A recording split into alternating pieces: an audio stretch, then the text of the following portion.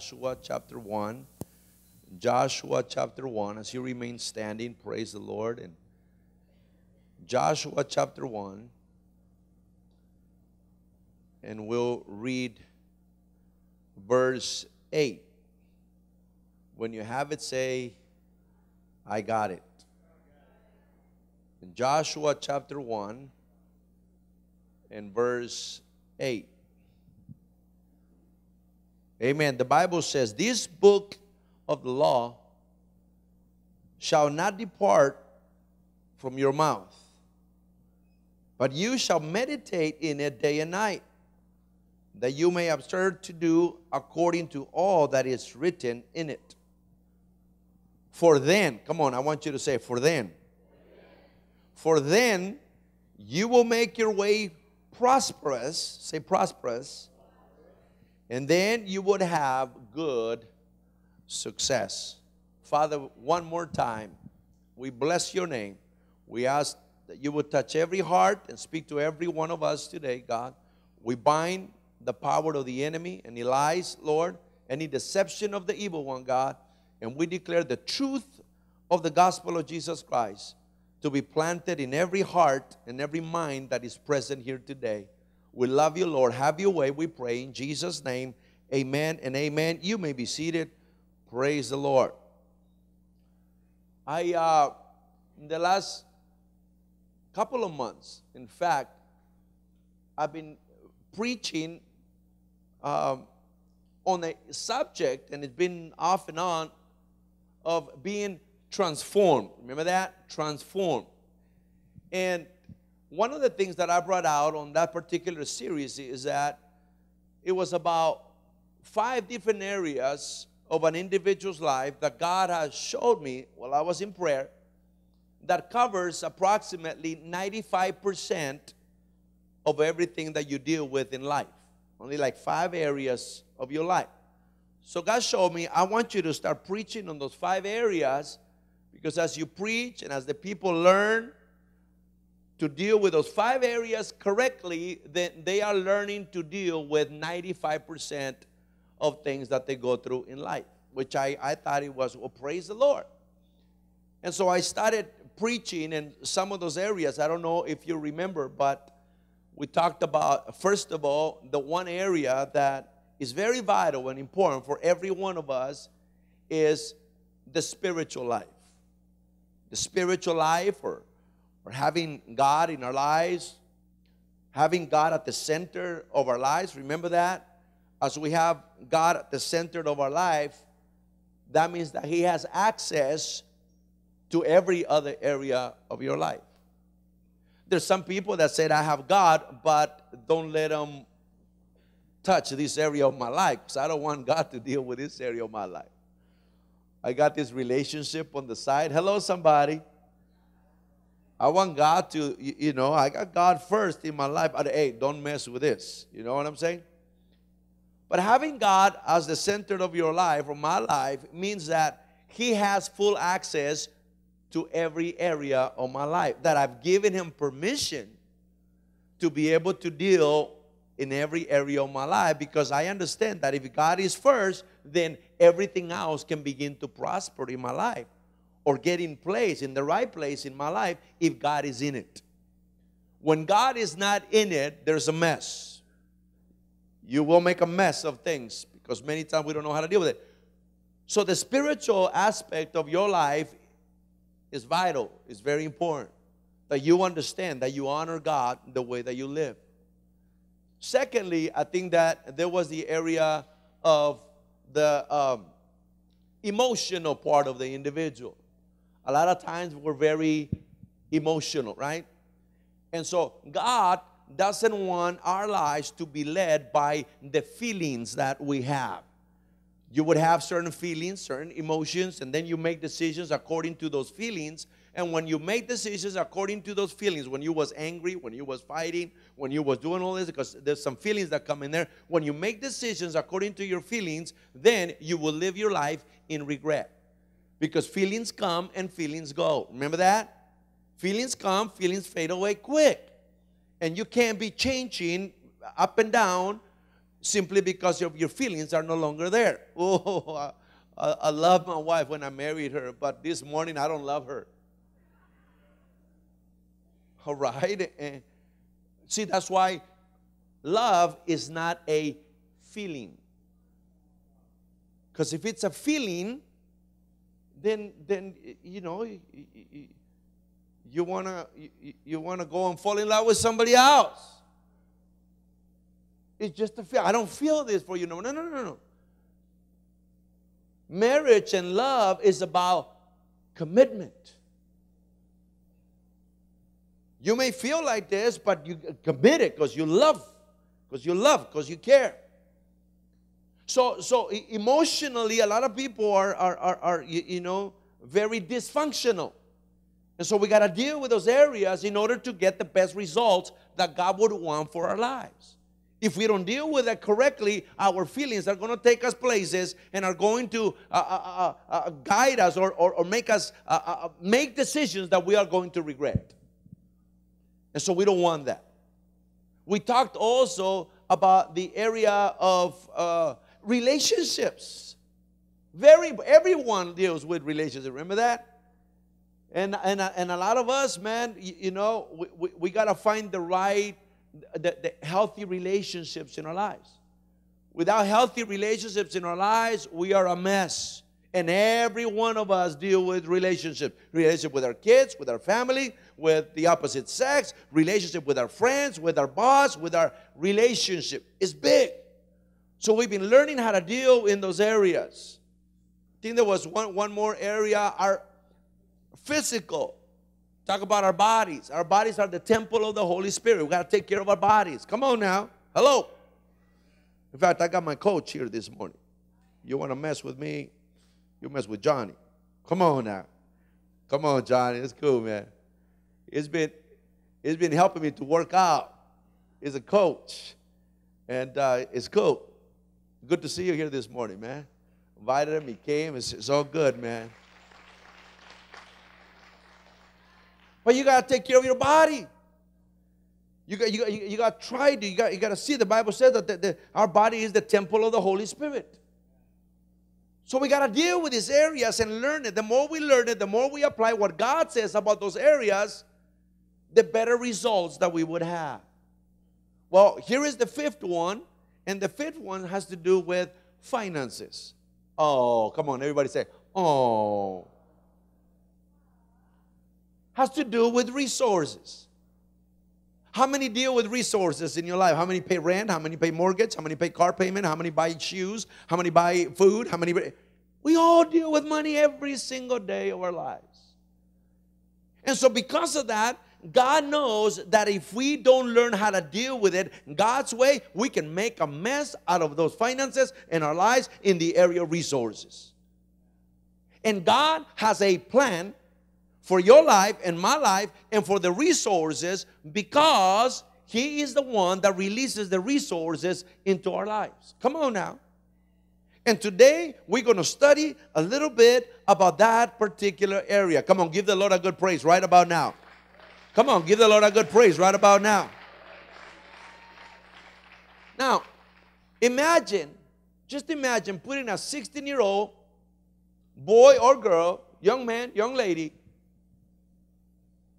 behind wheel of a car, right?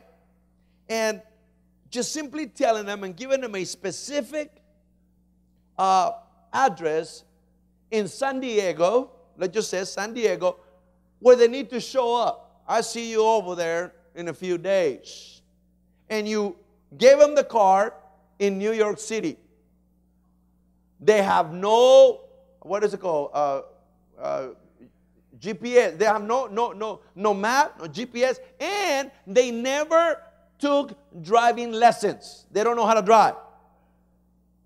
And you just give them a key, put them in the car. This is the address. I'll see you there. I hope you make it. Think for a moment.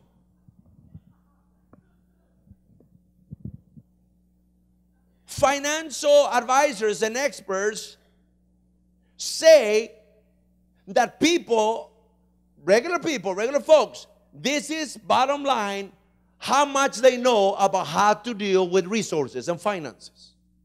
No wonder why so many people get into so much trouble instead of being successful in the area of resources. They're just given something and they don't even have a map. They don't know. They don't have the anything how to be successful in their lives in this area of resources.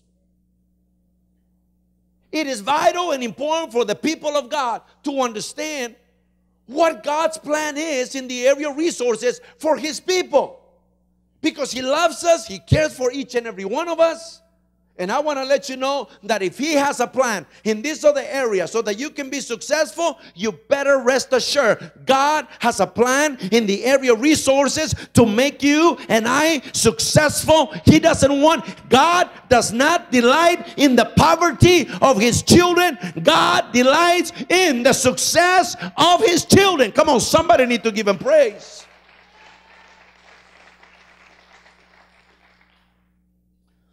That's why, beginning with this portion of scripture found in Joshua chapter 1, this is what he says. He said, This book of the law shall not depart from your mouth, but you shall meditate in it day and night, that you may observe the, the, to do according to all that is written in it.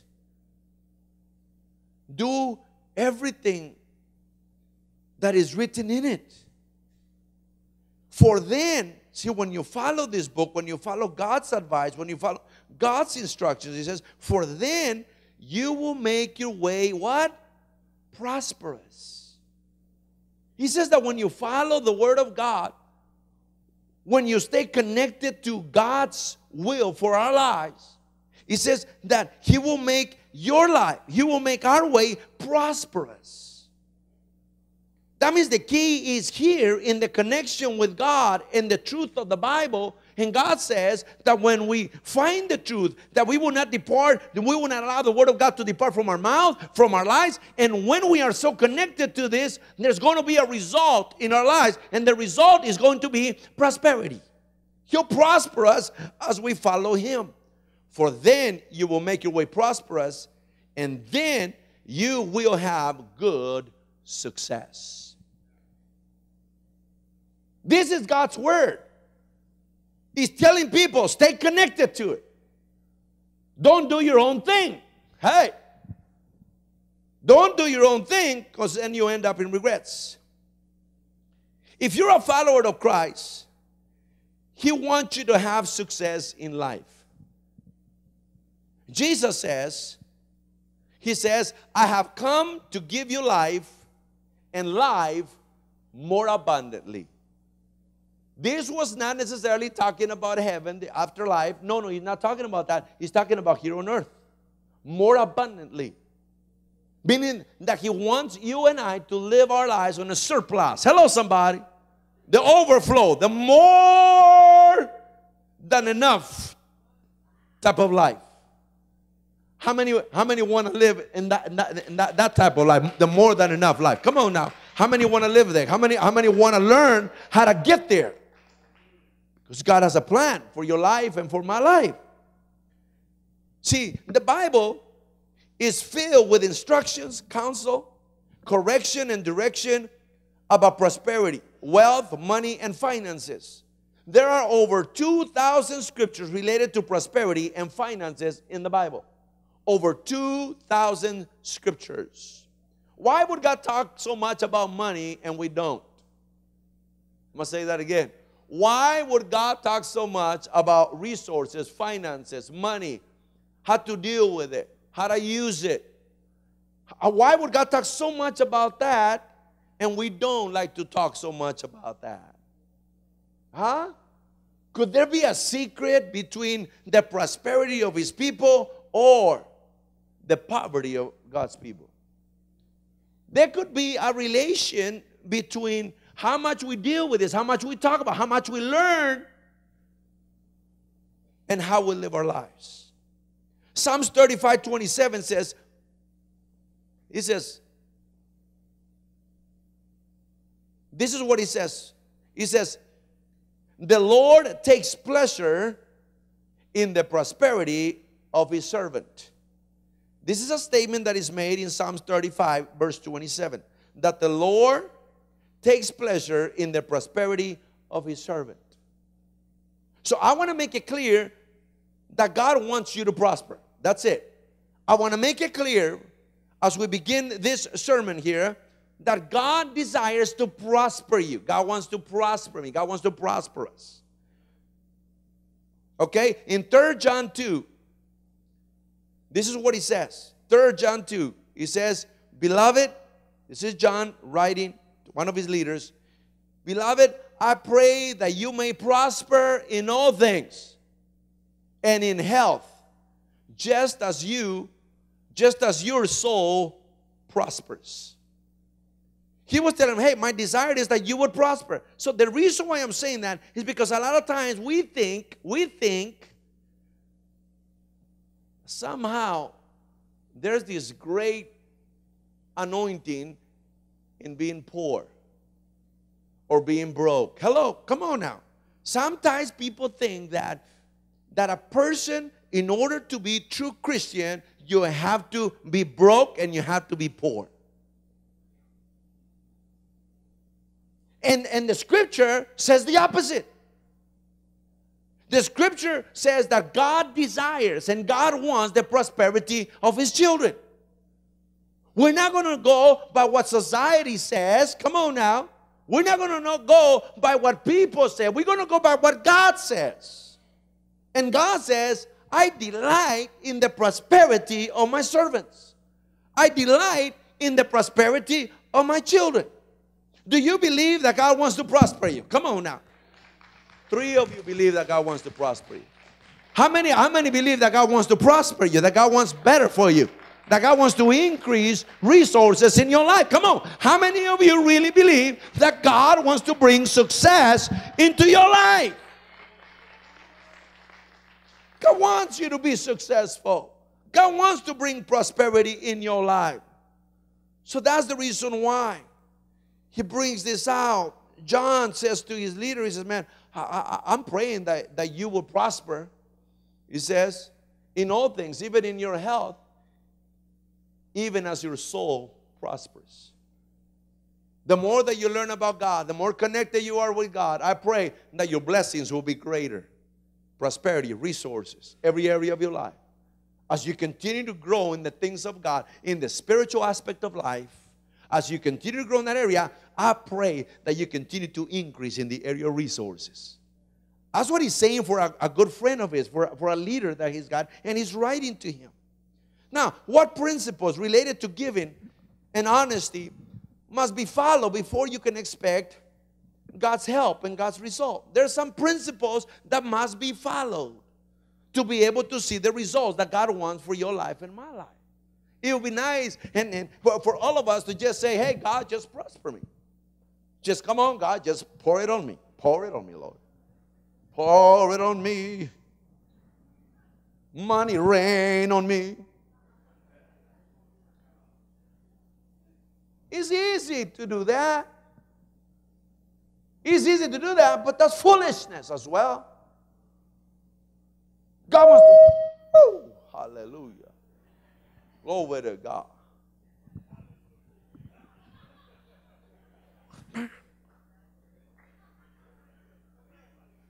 I tell you, Johnny's teaching me some good stuff. You better be careful now. God delights in the prosperity of his children. See, if you're going to prosper from where you're at right now, I don't care what level you're at. If you go, if if you're gonna if you're gonna go another level in your prosperity, in your finances, in areas of your life, you must first believe it. If you have problems believing that God wants to prosper you, don't expect to prosper. And that's where a lot of people live with a blockage in their minds, with, a, with walls in their minds that for some reason they will never get here. Who told you that? If you read the Bible, the Bible says that God delights in taking care of you, in taking care of business, in the prosperity of His people. Why do we have a blockage understanding that God was the best for each and every one of us? Come on, somebody need to give Him praise here this morning.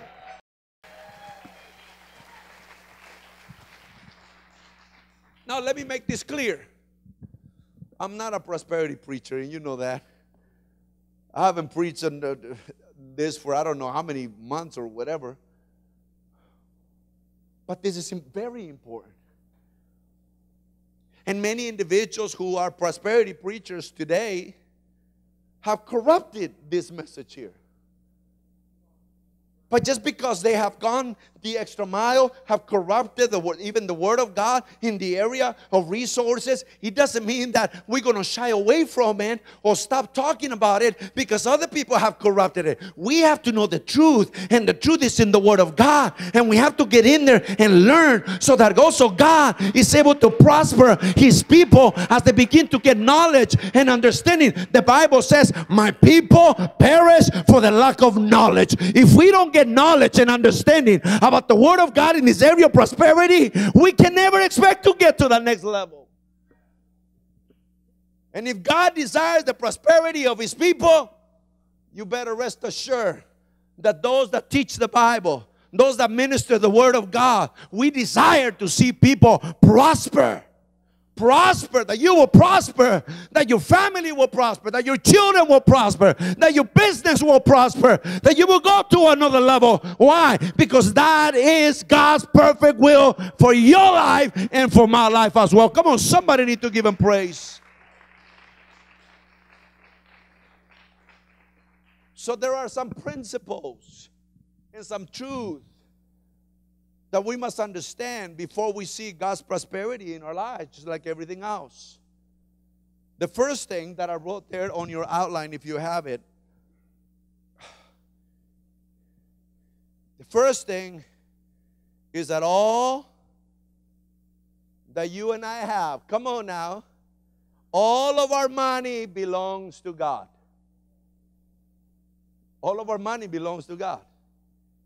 You need to know that, you need to accept it, you need to you need to have a deep within your heart this clear understanding that everything you have belongs to God. That's according to scripture. All right? Here in I believe it's in Haggai chapter 2 verse 8 it says the silver is mine and the gold is mine declares the Lord. God says all the silver and all the gold is mine. All right? So let there not be any questions. You don't own it. I do, God says. All right. Oh, you still don't believe it. All right. Deuteronomy 8, verse 18 says, But remember the Lord your God, for it is He who gives you the ability to produce wealth. And so, to confirm His covenant or His contract, contract which He promised to your ancestors as it is today. He says, Remember the Lord your God because he's, he, he, he is the one that gives you the ability to produce wealth. Who gives you the ability to produce wealth? God. That means that all the knowledge and all the hard work, guess, guess, who put it in you? God. Some of you are great managers and you manage real good. Some of you work real hard and you know how to do construction work or uh, whatever it may be. But I want to let you know that God says here that He is the one that gives the, gives the ability to produce the wealth. He is the one that puts it inside of you. Why does God do that? So that you and I can understand that it comes from Him. He is the one that enables us and anoints us and gives us the gifts and the abilities to be able to go and, and, and to qualify for this job. Even when we don't qualify for a job, God qualifies us. Hello, somebody. Somehow God provides, and we're able to go places and find the favor that we need to find and connect with the people that we need to connect. And God is opening those doors. Why? Because He wants to provide for you, but He gives you the ability to be able to produce the wealth in your life. That means that you yourself, myself, without God, we don't have that ability to produce wealth unless God releases that ability into our lives. So it comes from Him. Everything comes from the Lord because everything belongs to the Lord. Okay, so we got that. Everybody got that, right? Everything belongs to God. All of your money in your pocket, in your bank account, doesn't even belong to you. No, no, no, don't get up. It's okay. It's all right. Stay. It gets better. It gets better. It gets better. We're not going to leave it there, okay? All right. I saw like five people get up and I'm out. I saw them in the spirit. Uh-huh. Don't get up. Stay there. So, if all of the wealth belongs to God, if all of the wealth belongs to God, Cristano, all of the wealth belongs to God. All of the wealth belongs to God. He, he, he's got a, a company and, and, and he uh, is really good at what he does. It, I'm not going to say he's financial advisor. What would you call your, is that what it is, financial advisor? Financial advisor. And, uh, and, and, and, and there's steps and there's principles that, that, that, that, that helps you to save, to, to, to do the right thing, to, to build on your, on, your, on your equity, to build on your finances. It's really good and it makes sense, but you got to learn it. You got to learn it. So all of the finances, all of the wealth, belong, wealth belongs to the Lord. Secondly, if all of the wealth belongs to the Lord, number two, we are only stewards, not owners. If God is the owner of everything, then you and I are stewards or managers, managers of His possessions. We're not owners. I, I, I hope if you get it there and you're at peace with it, you're going to be all right. If you fight this thing, then you, you're still going to be fighting something that is true in the, in the Word of God. We are only stewards, not owners.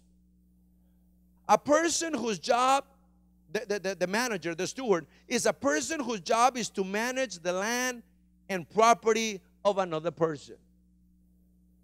So if we are managers, we are here to manage the property, the finances, resources of God Almighty. He's giving us a responsibility to manage what is His. Oh, God has entrusted us God has entrusted us to manage His possessions. It's just powerful when you begin to understand how it works. You go to work and you make a paycheck and all that stuff. You can't just you can't just spend it the way that you want to spend it. Why? Because if you spend it the way that you feel that you want to spend it, that makes you the owner. God has no say so. But if God is the owner, now, you are going to do it according to what honors Him because the paycheck belongs to Him.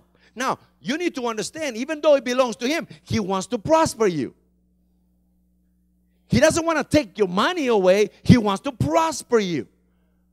But these are steps and these are principles that when they are followed, God does what He wants to do with His resources. What does He want to do? He wants to put it in the hands of His servants, of His children. He wants to bless them. He wants to accomplish great things throughout the world, but His children must prosper to be able to do that. How are they going to prosper? By disobeying what the owner wants to do? No, He's going to prosper the people as long as they are doing and following what the owner wants to do with the resources Moses, He's giving you a great responsibility to be able to manage what belongs to Him. Come on, somebody need to give Him praise. This is good stuff if you want to learn. A manager is a person whose job is to manage the land and property of another person. David said it best. He had all kinds of, David was one of the most wealthiest individuals on the planet. God prospered him. God took care of him. God gave him everything and then some. This is the mentality of David in First Chronicles 29, verse 16.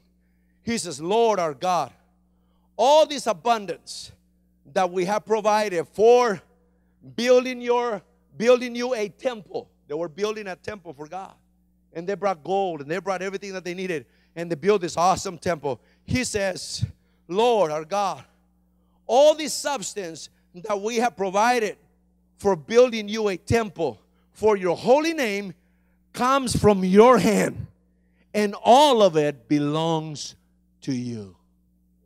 This was his mentality. What, what, what, what, was it?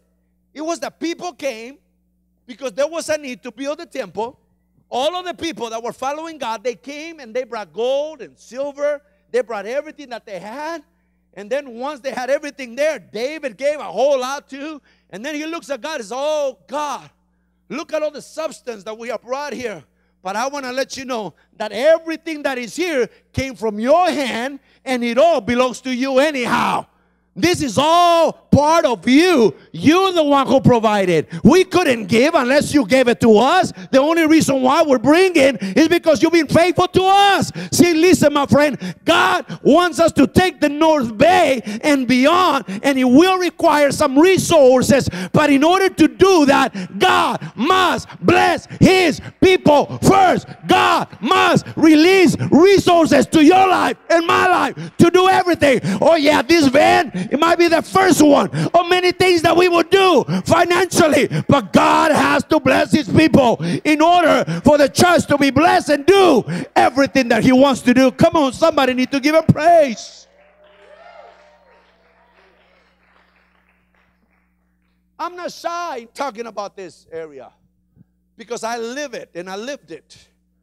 I'm not, I'm not, I'm not, uh, I'm not shy. I want you to learn. Some of you need to learn to be faithful to the Lord or else you will go through whatever you go through all the time, all the time, all the time. You got to learn to be faithful to the Lord. Now, can I take a break because things are tough? Wow, no, don't get mad, bro. My goodness, did you hear that? Can you take a break? Or say, no. The Bible doesn't say the Bible doesn't say, you know, that to take a break when things are tough. It doesn't say. In fact, I see many scriptures that when things are very tough, God calls them to be faithful. Right? God calls them to be faithful even in the midst of being difficult, being hard, to sacrifice. Now, I didn't read in the Bible either where he says, if you're not faithful when things get tough, you're going straight to hell. It's not in the, not in the Bible either. So this is so this is what we this is what we what we learn number number three. This is what we learn number three. It goes directly into that. So we are good. We are stewards of, of God's God's thing, God's eh, eh, eh, stuff. Number three says the tithe was not established for God, but for our benefit, and is given by faith. That's, that's directly connected with the tough times. That, that man, I, don't, I can't afford to do this. I can't afford that. What the Bible doesn't say when you're going through difficult times, don't give. God doesn't give that like, like an open door. Hey, stop giving when you can't. That was the case. Everybody said, I can't. I'm, I'm, you know. But the Bible doesn't say either, hey, if you don't give during the hard times, I'm going to put you straight to hell, in hell. I'll make sure that uh, a lightning hits you while you're going to work because you're stealing my money. Nowhere does it say that. Nowhere does it say that. All right? So, the tithe was not established for God, but for our benefit, and is given by faith. Is given by faith. What does that mean?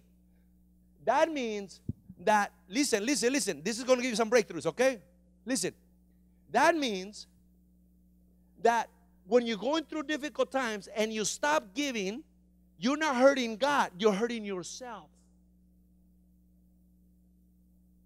See, this thing is for us, it's not for God. The Bible tells us that He owns all the cattle on a thousand hills. The Bible tells us all the silver and the gold is mine, declares the Lord. God is not in heaven looking at how He's going to pay the rent next month. God owns everything.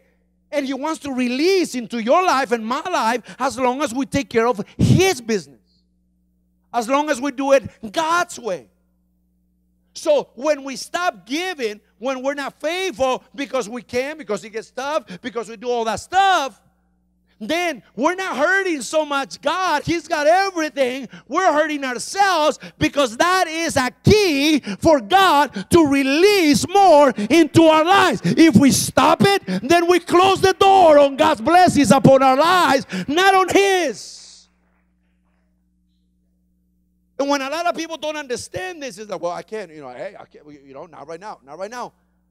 I'm telling you, I've seen it over and over and over again. I can tell you, I cannot tell you that I experienced that a whole lot because praise God, even in my good times and my bad times, I try to be as faithful as I can be to the Lord. Even when it was so difficult, I still have to do what I gotta do.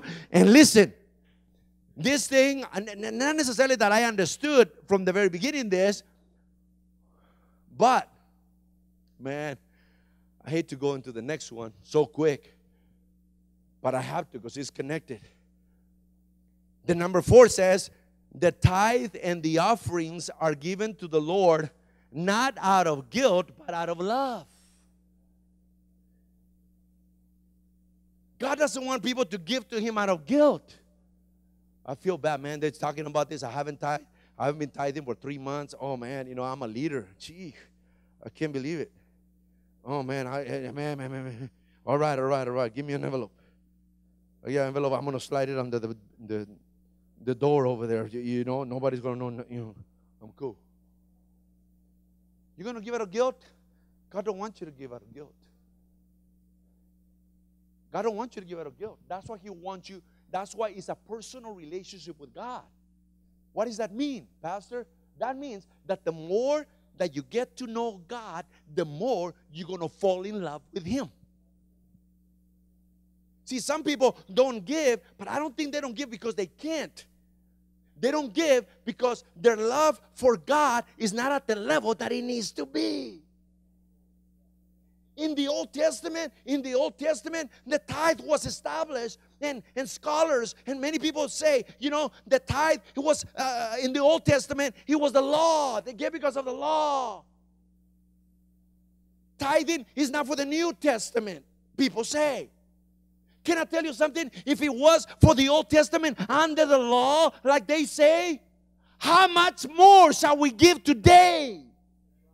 If they gave because it was the law, because it was something that was like that, can I tell you something? They never experienced the grace of God in their lives to the level that we have experienced. Jesus going to the cross and Jesus dying for your sins and mine. Jesus touching our lives and saving us. If we're still fighting, I can't give 10% because that was the Old Testament. It's nothing else. It's not the money. It's the heart. There's no love for the one that demands that we love him because because he showed us how he loves us by going to the cross. Come on, somebody need to give him praise.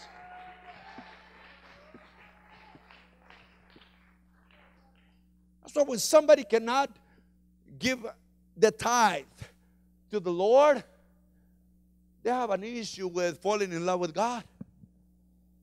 Remember, remember, love is not out of feelings. It's not based on feelings. Remember that? Love is based on what? Commitment. In a relationship with your spouse, it's commitment. With God, it's commitment. That's why in the difficult times, hey, I'm going through this, I'm going through that. But man, my love for you. Oh my God. I was lost. I was bound. I was losing my, my marriage. I was losing my family, my kids. I, I, was losing everything when you came into my life. And oh, you saved me, you touched me, you changed me. Oh God, you've done so much in my life now. Thank you, God, for what you see. The tithe is out of gratitude and thankfulness, just for saying, God, I'm so grateful for what you have done in my life. It's not done out of you, know, uh, oh man, I feel guilty for this. No, no, no, no. Remove that guilt and connect with God and begin to love God and begin to just be faithful to God out of the love and the commitment that you have for what He's done for you. That's what we give. That's the reason why we give, because He's done so much for us. Thank you, Jesus. It says, bring the whole tithe to the storehouse in Malachi 3:10. Bring the whole tithe to the storehouse, so there will be enough food in my temple. And if you do, says the Lord of heaven's army, I will open the windows of heaven for you. I will pour out a blessing so great you won't have enough room to take it in. Try it. Put me to the test. That's what the New Living Translation says. Try it. Put me to the test. He says, bring the whole tithe. So, but as you do that, he says, watch what's going to happen.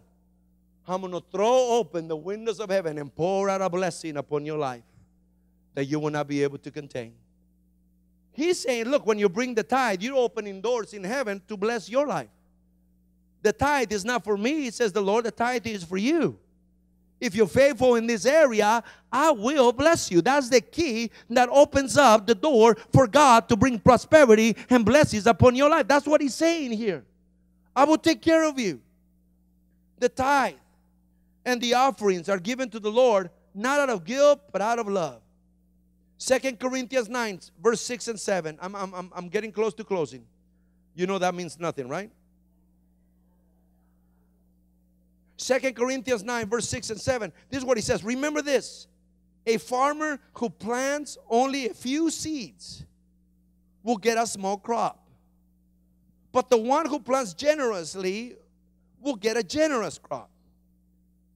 You must each decide in your heart how much to give. And don't give reluctantly or in response to pressure. For God loves a person who gives cheerfully. He said there's got to be joy and love inside of us when we give and understand why we're giving. Thank you, Jesus. Oh, I'm so glad. A 10%, that's just where I begin. Come on now. That's just the that's just the base level. Come on, man. I, I love you so much. Hallelujah. So tithes and offerings are given to God out of a grateful, loving heart for who He is, for what He's done. It's not the law. It's what God desires. It's what God wants. We put Him first. We, we, we show Him that you are first in this area as well. We're not excluding you from this area. Come on now. The Old, the, the, the Old Testament saints gave because it was the law. The New Testament Christians give because we have received His grace. And then, lastly, number five obedience to God will always bring prosperity to your life. Obedience to God will always bring prosperity in your life. That's the reason why God established discern principles of how to receive prosperity from the Lord.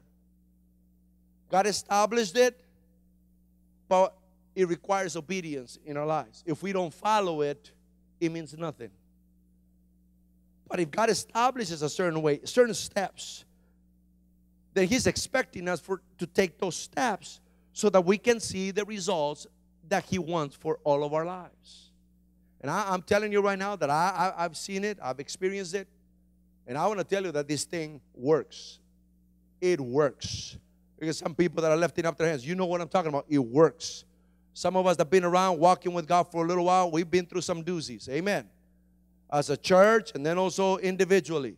But I can tell you that God has come from left field time and time again to prove to us that He's faithful when His people are faithful. Come on, somebody need to give Him praise. Somebody need to give Him praise. Come on, somebody need to give Him praise right now. Come on now. God wants to prosper you. God wants to prosper me.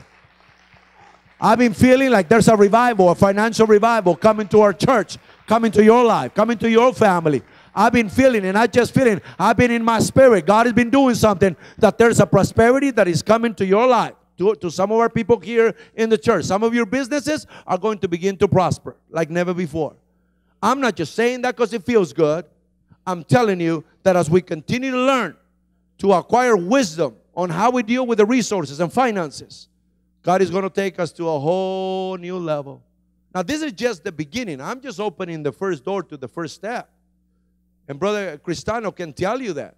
There's so many steps to continue to take your business, to focus in certain areas. Those that are in debt, you, you, you probably have credit cards and this and that. There's ways to begin to, to, to uh, uh, uh, chisel that out to begin to take care of business and and there's a formula that that that that, that experts will tell you and give you steps on how to begin to deal with those areas so that you are debt free. Come on now. There's there's ways that you can deal with this and and and you move forward. And when you begin to move forward you you, you begin to become free and and you experience freedom of debt. My friend can i tell you something? It's so awesome when you're able to move forward and you say man who do i owe money to? There's nobody i owe money to. Come on now. It's a great thing when you have no debt all, when God is providing for you, and then you start looking and say, Now that I have a little bit more, how can I advance the kingdom of, of God? How can I contribute a little bit more to what God wants to do? God, what you want me to do with this additional $20 or $50 or $100? And God will say, Come on, I want to convert that money into souls. I want to convert that money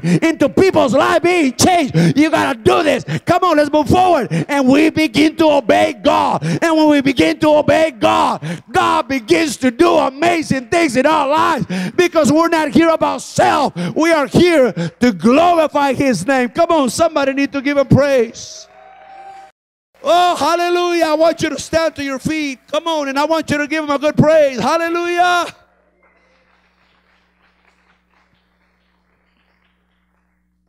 Come on, as, as you remain standing, let me just close with this, okay? See if I remember. He says that there's a story about this man who got lost. And he was in the desert. He's been in the desert for a while. Lips are cracking dry, had, hasn't had water for a few days. In the middle of the desert, as far as you can see, there's nothing but desert. And he's crawling, he can't The sun is just burning him. Finally, he looks like a little cabin in the middle of the desert, like a little room. so he goes, opens the door and looks there's a water pump. Water pump with a handle up, like ready to just bring it down to bring water. There's a little bottle that is hanging from it with a with a little writing inside of it. And the writing it says, I know that you're thirsty.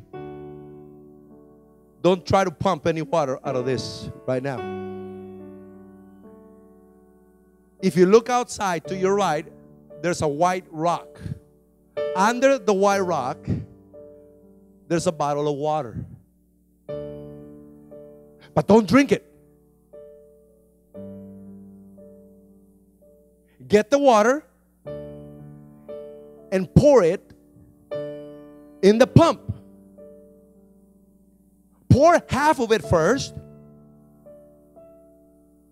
And then, after a minute or so, pour the rest of it and start pumping fast.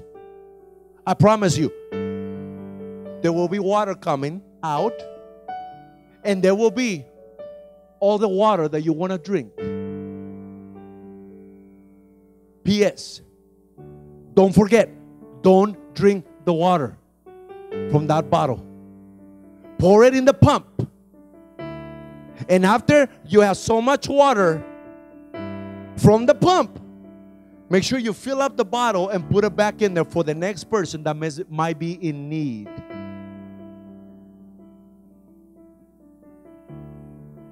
What would you do?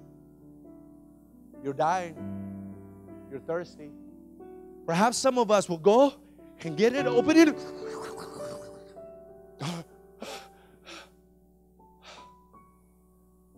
And then what?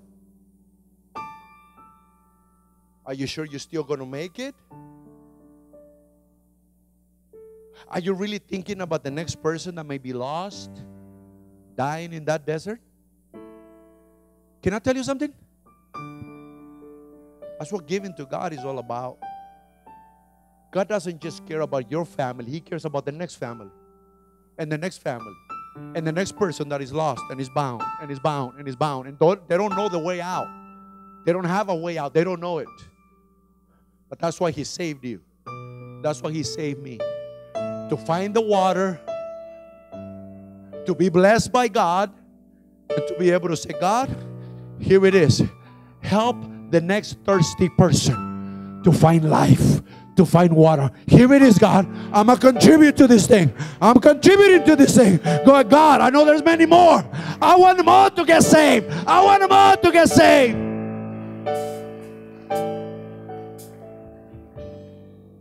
Let's be obedient to the Lord. Brother, sister, obey the Lord. There's so many people that are lost and bound out there. And God is giving us a great responsibility to give them Jesus, to show them Jesus. Would you do that in every area of your life? In every area of your life, this applies. Lift up your hands all over the place. Father, we love you. We thank you. We bless you. Thank you, Jesus. Because you are a good God. Lord Jesus, I ask you for forgiveness. Every one of my brothers and sisters, forgiveness for myself. For not one of us in this place is perfect. We all have fallen short. But oh God, I pray in the name of Jesus that by your grace and your mercy, your love, your anointing upon our lives, that you will continue, oh God, meeting the needs of your people meeting the needs of your people in the name of Jesus. Come on, as a church, I'm going to ask you now that as we begin to sing this song, that you will step out of your seat, that you will come, that you will stand right here. I, I want to I wanna pray that God will continue to give you the wisdom on how to honor Him in this area so that He can prosper you, that He can prosper your family that He can prosper you, that He can use your life to reach all the thirsty people that don't know what to do. Come, come, come, come. I want to pray for you. I want to pray for you. I want to pray for your family. I want to pray for your relationship. I want to pray for breakthroughs in your life. Come, come, come, come, come.